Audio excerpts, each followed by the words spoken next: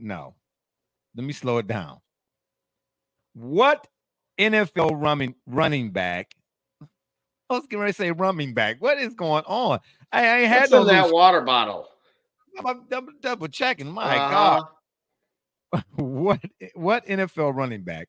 I was gonna say this to the gridiron, but I had to get it out now because he was all chit chatting in my ear before we came on air. What NFL running running back, former or current, is the equivalent to your driving skills?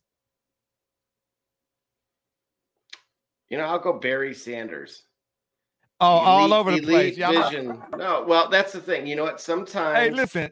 Now you just told on yourself. You just told on yourself. Now I know why there's no squirrels in Michigan.